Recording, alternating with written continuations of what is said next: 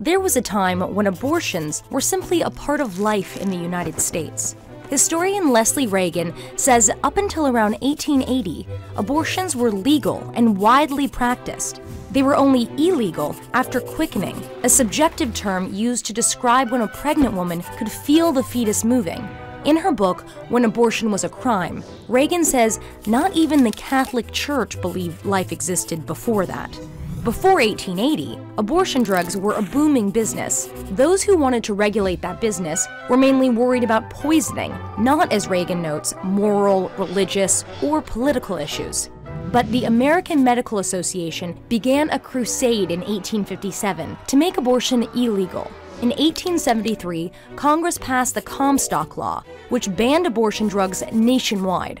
By 1880, abortion was illegal in most states unless it was necessary to save the life of the woman. But why?